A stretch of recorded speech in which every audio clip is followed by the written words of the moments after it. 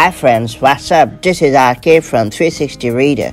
Right now, I'm going to talk about how you can set an iPhone sleep timer using Apple Music. If you like to listen to music while falling asleep, you should take advantage of Apple Music One Radio and Apple Music to embrace sleep.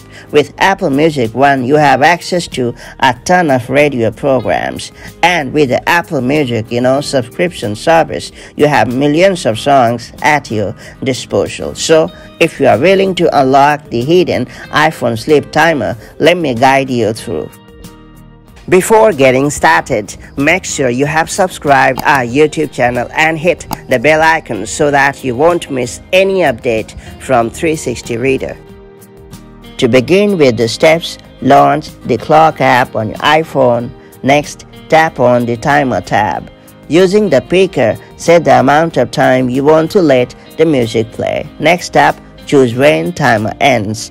After that, you need to select stop playing. Then you will have to scroll down to the bottom. Up next, tap on set at the top right corner of the screen. Finally, tap on the start option to begin the timer.